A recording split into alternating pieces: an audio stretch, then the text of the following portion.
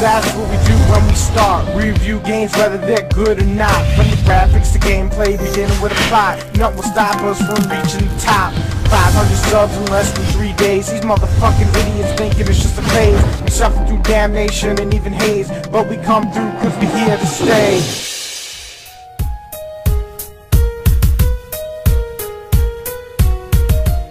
So we're going to be reviewing Overlord 2 today. Uh, Overlord 2 is actually a sequel to a uh, much underlooked game, uh, the original Overlord, and Overlord 2 actually takes place uh, later in a different time period, kind of like in the Roman era, and uh, has to do with a new uh, basic Overlord coming into power.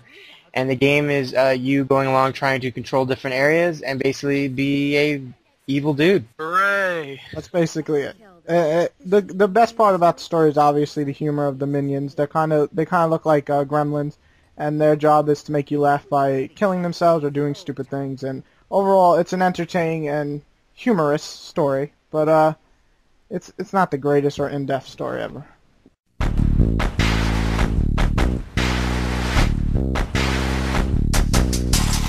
So the graphics of Overlord 2 um, are actually a real uh, improvement from the first game.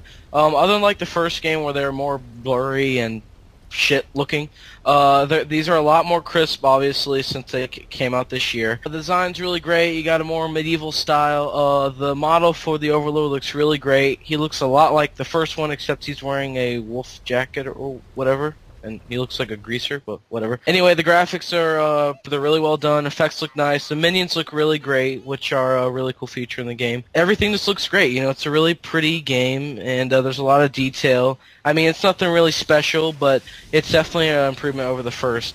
Uh, I mostly agree. The only problem I have with the graphics, and I usually don't care about clipping too much, but when you send your minions in the houses and then they like you can see them like go through the houses and stuff it kind of takes away from the cool feature that they're taking down a house. But uh, besides the little clipping and uh, graphical bugs and all that the actual graphics were uh, pretty much well done. Yeah I thought they were nice looking the you know like the snow effects and stuff and you walking through the snow it looks nice. It's definitely better than the first one but that's not saying much that came out three years ago. There's some weird looking characters models. Some of them are cool. Your actual, the dude you play, the Overlord, he looks really cool.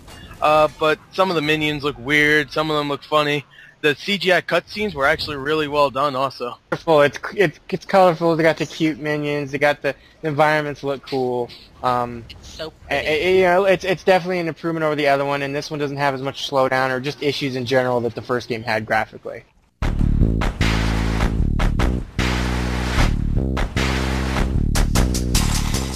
The general gameplay of Overlord is similar to, uh, if you want to compare it, uh, Pikmin mixed with Fable, but not as good as either of those separately. What I mean is, you can control these minions. You, there's four different types. You got the blue ones, the red ones, the green ones, and the brown ones, and they all have their special abilities. The brown ones are best at fighting, the green ones can poison you or take poison in, the blue ones can swim, and the red ones shoot fireballs and all that good shit. There's really, there's no new minions, and this one's kind of a disappointment, since uh, the first one has the exact same minions.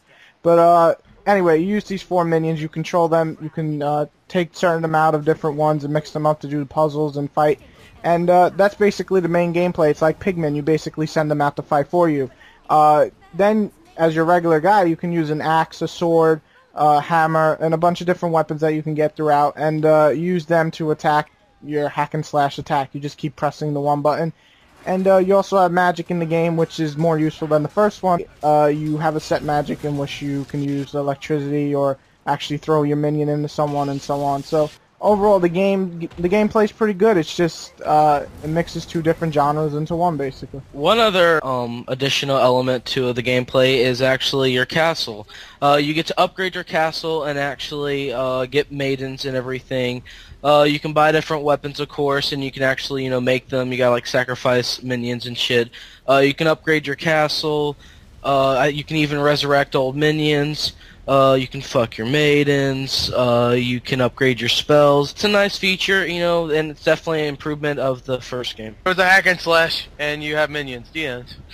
And I will interrupt you there because that's all you've got to say. Hey, they, um, it definitely again, it, it, it, they are improving off of the older game. I, I do feel that they're they're they're adding just a little bit um, more than the previous Overlord game, and it, it's just an overall, um, in, in all terms, it's an overall smoother package.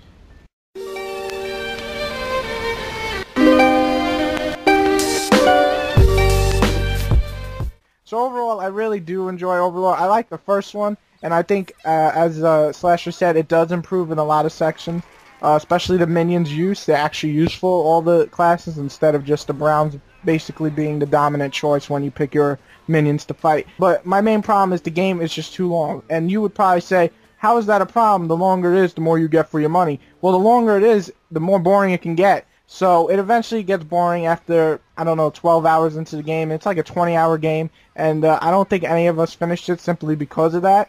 And uh, the only and the other problem I have is I don't know where the game will get ridiculously hard at points. Uh, but overall, I do enjoy Overlord. I enjoy its concept. I enjoy being this bastard who kills everybody and sends little gremlins to fight for him. But uh, it just to me it has to have a better pacing, and it just takes way too long to do everything. I would most likely agree on Waddy in this. I definitely enjoyed this more than the original, but uh, like he said, it is a little bit too long, and it did get pretty boring real fast. Uh, yeah, I did have some fun time playing. You know, it was kind of an enjoyable game for me.